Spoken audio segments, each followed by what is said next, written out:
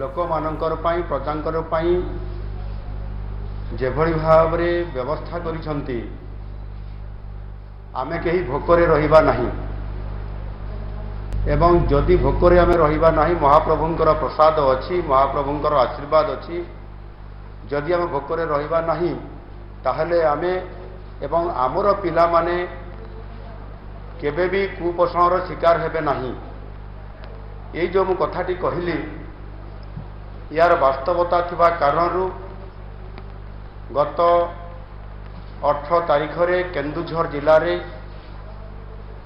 କେନ୍ଦୁଝର ମୁଖ୍ୟ ଡାକ୍ତରଖାନାରେ ଯେଉଁ ଅଘଟଣ ଘଟିଲା ଚବିଶ ଘଣ୍ଟା ଭିତରେ ଚାରୋଟି ନବଜାତ ଶିଶୁର ମୃତ୍ୟୁ ହେଲା ଚିକିତ୍ସା ଅଭାବ କାରଣରୁ ଏବଂ କୁପୋଷଣର ଶିକାର ହୋଇଥିବା କାରଣରୁ ଏ କଥାକୁ ଅବତାରଣା କରିବାର ଆବଶ୍ୟକତା ମୁଁ ଏଇଥିପାଇଁ ମନେ କରୁଛି ଏ କଥା ମଧ୍ୟ ମୁଁ ଗୋଟିଏ ବର୍ଷ ଆଗରୁ ଅର୍ଥାତ୍ ଆଜି ଦିନରେ ଆପଣଙ୍କର ଆଜିର ଦିନରେ ଗତ ବାଇଶ ନଅ ଦୁଇ ହଜାର ଏକୋଇଶ ତାରିଖରେ ଆଜି ବାଇଶ କିନ୍ତୁ ଗତ ବାଇଶ ନଅ ଦୁଇ ହଜାର ଏକୋଇଶ ମସିହାରେ ମୁଁ ଗୋଟିଏ ଚିଠି ଲେଖିଥିଲି ଆମ ଜିଲ୍ଲାପାଳ ମହାଶୟଙ୍କୁ କେନ୍ଦୁଝରର। କେନ୍ଦୁଝର ଜିଲ୍ଲାର ଅତି ନିକଟରେ ଥିବା ଓଏମ୍ସି ଗନ୍ଧମାର୍ଦ୍ଦନ ଶୁଆକାଠିଠାରେ ସେଇ ପାଖ ଅଞ୍ଚଳରେ ଅନେକ ଜାଗା ଅଛି ଯେଉଁଥିରେ ଛୋଟ ଶିଶୁମାନେ କୁପୋଷଣର ଶିକାର ହେଉଛନ୍ତି ଅପପୁଷ୍ଟିର ଶିକାର ହେଉଛନ୍ତି। ସେମାନେ ନା ଖାଇବା ପାଉଛନ୍ତି ଠିକ୍ ଭାବରେ ନା ପିନ୍ଧିବା ପାଉଛନ୍ତି ଠିକ୍ ଭାବରେ ନା ବିଦ୍ୟାଳୟକୁ ଯାଇପାରୁଛନ୍ତି ପାଠ ପଢ଼ିବା ପାଇଁ ନା ଚିକିତ୍ସା ଟିକେ ପାଉଛନ୍ତି ସେ ଅଞ୍ଚଳର ଡାକ୍ତରଖାନାରେ ଯେଉଁଠି ଡାକ୍ତର ଅଭାବ ଅଛନ୍ତି ଏ କଥାକୁ ମୁଁ ନିଜେ ଦେଖିଲା ପରେ କୋଡ଼ିଏ ତାରିଖରେ ମୁଁ ସେପ୍ଟେମ୍ବର ମାସ ଗତ ବର୍ଷର ମୁଁ କୋଡ଼ିଏ ତାରିଖ ଦେଖିଲା ପରେ ବାଇଶ ତାରିଖରେ ଚିଠି ଲେଖିଥିଲି ଜିଲ୍ଲାପାଳ ମହାଶୟଙ୍କୁ କେନ୍ଦୁଝର ଜିଲ୍ଲାର ଏବଂ ଆଜି ବାଇଶ ନ ଚିଠି ଲେଖିଥିଲି ଠିକ୍ ଗୋଟିଏ ବର୍ଷ ହେଇଗଲା ଦୁର୍ଭାଗ୍ୟ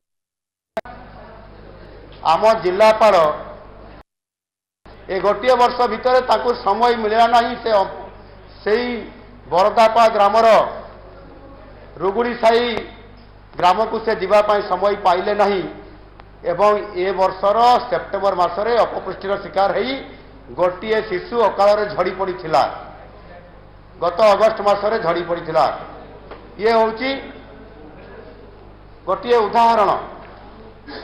ଗତ ଅଠର ତାରିଖ ଯେଉଁ ଘଟଣା ଘଟିଲା ମୁଁ ଏହା ଅବତାରଣା କରିବା ପାଇଁ ଏଇଥିପାଇଁ ଚାହୁଁଛି ଯେ ଆପଣଙ୍କର ଜାଣି ଶୁଣିକରି ସରକାର ଏଠି ସମସ୍ତ କଥା ସେ ଘୋଷଣା କରି କହିଛନ୍ତି ଯେ ଆମେ ସମସ୍ତ ଯୋଜନା କରୁଛୁ ଏବଂ ସମସ୍ତ ପ୍ରକାରର ପୋଷଣ ଜନିତ କାର୍ଯ୍ୟକ୍ରମରେ ଛୋଟ ଛୁଆକୁ ସାମିଲ କରୁଛୁ କେହି ଅପପୁଷ୍ଟିର ଯେମିତି ଶିକାର ହେବେ ନାହିଁ। ଏବଂ କେନ୍ଦ୍ର ସରକାର ମଧ୍ୟ ତଦନୁରୂପ ଭାବରେ ପିଏମ୍ ପୋଷଣ ଯୋଜନାରେ ରାଜ୍ୟ ସରକାରକୁ ସେ ଟଙ୍କା ଯୋଗେଇଛନ୍ତି। ଏଥିରେ ଚିଠି ଆମର ମୁଁ ଆପଣଙ୍କୁ ଦେଖାଇବା ପାଇଁ ଚାହେଁ। ଏ ଚିଠି ଆପଣ ଦେଖନ୍ତୁ ଏ ଚିଠିରେ ଟଙ୍କା ସେ ଦେଇଛନ୍ତି। ଏ ଯେଉଁ ଟଙ୍କା ଦେଇଛନ୍ତି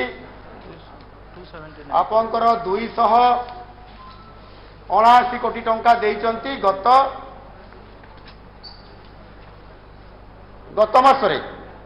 ଗତ ମାସରେ ଦୁଇଶହ ଅଣାଅଶୀ କୋଟି ଟଙ୍କା ଦେଇଛନ୍ତି ଏବଂ ଦୁଇ ହଜାର ବାଇଶ ତେଇଶ ଆର୍ଥିକ ବର୍ଷରେ ପାଞ୍ଚଶହ ପଚାଶ କୋଟିରୁ ଅଧିକ ଟଙ୍କା ଓଡ଼ିଶା ସରକାରକୁ ଦେଇଛନ୍ତି। ଅପପୁଷ୍ଟିର ଶିକାର ନ ହେବା ପାଇଁ ଏବଂ ଯେଉଁଠି ଅପହଞ୍ଚ ଇଲାକା ମଧ୍ୟ ଅଛି ସେ ଅଞ୍ଚଳରେ ବିଭିନ୍ନ ଯୋଜନାକୁ କାର୍ଯ୍ୟକାରିତା କରାଇବା ପାଇଁ। ଏଠି ମୁଁ ଗୋଟେ ପ୍ରଶ୍ନ ପଚାରିଥିଲି। ଏବଂ ସେ ପ୍ରଶ୍ନରେ ଆପଣ ଦେଖନ୍ତୁ ଯାହା ଉତ୍ତର ରାଜ୍ୟ ସରକାର ଦେଇଛନ୍ତି। ଏଥିରେ ଆପଣଙ୍କର ମୁଁ ତେଇଶ ଷୋହଳ ତିନି ଦୁଇ ହଜାର ଏକୋଇଶରେ ଗତ ବର୍ଷ ପ୍ରଶ୍ନ ପଚାରିଥିଲି। ସେଥିରେ ସେ ଉତ୍ତର ଦେଇଛନ୍ତି ସମ୍ପୂର୍ଣ୍ଣ ଯୋଜନାରେ ରାଜ୍ୟରେ ପାଞ୍ଚ ହଜାର ପାଞ୍ଚଶହ ପଚିଶଟି ଗ୍ରାମକୁ ଅପହଞ୍ଚ ଗ୍ରାମ ଭାବରେ ଚିହ୍ନଟ କରାଯାଇଛି।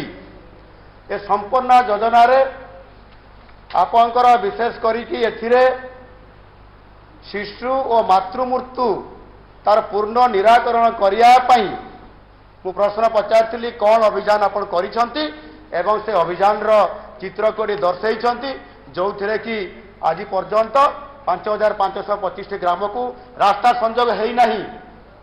ଯେଉଁ ଅଞ୍ଚଳରେ ଆମର ଯେଉଁ କୁନ୍ଦୁରୁନାଲା ଯୋଡ଼ା ଅଞ୍ଚଳ କେନ୍ଦୁଝର ଜିଲ୍ଲାର ଏବଂ ସେଠି ଆପଣଙ୍କର ଆଉ ଗୋଟିଏ ଜଜାଙ୍ଗ ଜୁରୁଡ଼ି ଅଞ୍ଚଳ ଅଛି ଯେଉଁଠି ଗତ ମାସରେ ଗୋଟିଏ ପ୍ରସୂତି ସ୍ତ୍ରୀ ଲୋକ ଆମ୍ବୁଲାନ୍ସ ପାଖକୁ ପହଞ୍ଚି ପାରିଲା ନାହିଁ ଅପହଞ୍ଚ ଇଲାକା ହେଇଥିବା କାରଣରୁ ଷ୍ଟ୍ରେଚରରେ ଯେତେବେଳେ ଆଣିବା ପାଇଁ ଗଲେ ସେମାନେ ଖଟରେ ବୁହାଇକରି ଆଣୁଥିଲେ ରାସ୍ତାରେ ପ୍ରସବ କରିଲା ଶିଶୁଟିଏ ସେ ଜନ୍ମ ଦେଲେ।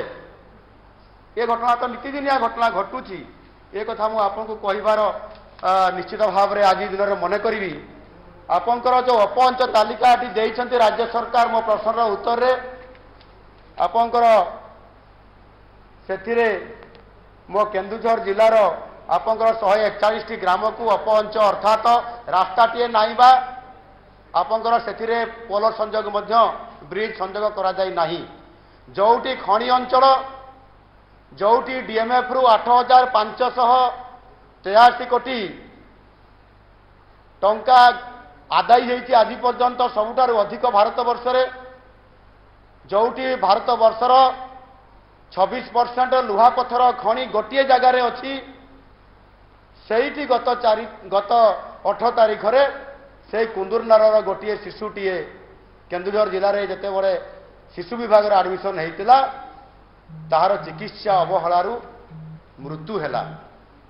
ସେ ଛୁଆଟି ଯୋଡ଼ା ଟିସ୍କୋ ହସ୍ପିଟାଲ ଆଡମିସନ୍ କରିଥିଲା କେନ୍ଦୁଝରକୁ ଆସିଲା। କେନ୍ଦୁଝରରେ ଆଡମିସନ୍ ହେଲା ପରେ କେନ୍ଦୁଝରରେ ଯେଉଁ ଡାକ୍ତରମାନେ ଚିକିତ୍ସା କରିବା କଥା ତାକୁ ଅବହେଳା କରିଲେ କେନ୍ଦୁଝର ଡାକ୍ତରଖାନା କେନ୍ଦୁଝର ଜିଲ୍ଲାର ମୁଖ୍ୟ ଡାକ୍ତରଖାନା ଏବଂ ଏବେ ଯେଉଁ କେନ୍ଦୁଝରରେ ଗୋଟିଏ ମେଡିକାଲ କଲେଜ ଆପଣଙ୍କର ଘୋଷଣା ହେଇଛି ଏ ନିକଟରେ ଖୋଲିବା ପାଇଁ ସେଥିରେ ଆପଣଙ୍କର ଆସିଷ୍ଟାଣ୍ଟ ପ୍ରଫେସର ଏବଂ ପ୍ରଫେସର ମିଶେଇଲେ ପାଖାପାଖି ଅଶୀ ଜଣ ଡାକ୍ତରଙ୍କୁ ଏବଂ ବିଭିନ୍ନ ଷ୍ଟାଫଙ୍କୁ ନିଯୁକ୍ତି ଦେଇ ସାରିଲେଣି ଶିଶୁ ବିଶେଷଜ୍ଞ ମଧ୍ୟ ନିଯୁକ୍ତି ଦେଇଛନ୍ତି ଏବଂ ଅଠର ତାରିଖରେ ଯେଉଁ ଘଟଣା ଘଟିଲା ସେଥିରେ କଳ୍ପ ସିଂ ବୋଲି ଜଣେ ଡାକ୍ତର ତାଙ୍କର ଆକ୍ସିଡେଣ୍ଟ ହେବା କାରଣରୁ ସେ ଛୁଟିରେ ରହିଥିଲେ ଏବଂ ଅଠର ତାରିଖ ପର୍ଯ୍ୟନ୍ତ ସେ ଛୁଟିରେ ଥିଲେ।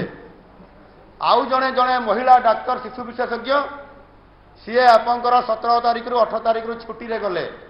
ଦି ଜଣ ଡାକ୍ତର ଯଦି ଶିଶୁ ବିଶେଷଜ୍ଞ ଛୁଟିରେ ଯିବେ ଏବଂ ଗୋଟିଏ ଏସ୍ ଏନ୍ ସି ୟୁ ଯେଉଁ ଆମର ଶିଶୁ ବିଭାଗ ରହିଛି ସେଥିରେ ଚବିଶଟି ବେଡ୍ ଥିବା ପରିପ୍ରେକ୍ଷୀରେ ଷାଠିଏ ସତୁରି ପେସେଣ୍ଟ ବା ନବଜାତ ଶିଶୁ ରହୁଥିଲେ ତାଙ୍କର କିଭଳି ଭାବରେ ଚିକିତ୍ସା ହେଉଥିବେ ଆପଣ ଅନୁମାନ କରିପାରୁଥିବେ। ନିଜେ ମେଡିକାଲ କଲେଜର ସୁପରିଟେଣ୍ଡେଣ୍ଟଙ୍କୁ ଦାୟିତ୍ୱ ଦିଆହେଇଥିଲା ମେଡିକାଲକୁ ପରିଚାଳନା କରିବା ପାଇଁ। ଗୋଟିଏ ପଟେ ମେଡିକାଲ କଲେଜର ହସ୍ପିଟାଲ ଆଉ ଗୋଟିଏ ପଟେ ଜିଲ୍ଲା ହେଡକ୍ୱାର୍ଟର ହସ୍ପିଟାଲ ଗୋଟିଏ ମାତ୍ର ହସ୍ପିଟାଲ ସେଇ ଗୋଟିଏ ହସ୍ପିଟାଲ ଏବଂ ସେଥିରେ ମେଡିକାଲ ସୁପରିଟେଣ୍ଡେଣ୍ଟ ଦୀର୍ଘ ଦିନ ହେଲାଣି ଛୁଟିରେ ଅଛନ୍ତି। ସିଡିଏମ ସେଦିନ ଛୁଟିରେ ଥିଲେ। ଏବଂ ଜାତୀୟ ସ୍ୱାସ୍ଥ୍ୟ ମିଶନର ଜଣେ ଡିପିଏମ୍କୁ ଏବଂ ଆପଣଙ୍କର ଅନ୍ୟ ଏଡିଏମ୍କୁ ଦାୟିତ୍ୱ ଦେଇକରି ସେଦିନ ଯେଭଳି ଭାବରେ ଯେଉଁ ପରିସ୍ଥିତି ତିଆରି ହେଲା ସେଦିନ ଡାକ୍ତର କେହି ନଥିଲେ ସେ ନବଜାତ ଶିଶୁମାନଙ୍କର ଚିକିତ୍ସା କରିବା ପାଇଁ। ଯୋଉଟା ଆମର କାଞ୍ଜିପାଣି ବାଉଁଶପାଡ଼ କେନ୍ଦୁଝର ଜିଲ୍ଲାର ଘଟଣା ସେ ଶିଶୁଟିଏ ଯୋଉ ତାର ସିଜରିଂ ମାଧ୍ୟମରେ ଜନ୍ମ ହେଲା ତାହାର ବର୍ଷେ ଦୁଇ ବର୍ଷ ପୂର୍ବରୁ ସେ ଦୁଇଟି ଆଗରୁ ଶିଶୁ ନର୍ମାଲ ସେ ଜନ୍ମ ଦେଇଥିଲା ଏବଂ ସେ ଶିଶୁଗୁଡ଼ିକ ଅପପୁଷ୍ଟିର ଶିକାର ହୋଇକରି ମୃତ୍ୟୁବରଣ କରିଥିଲେ।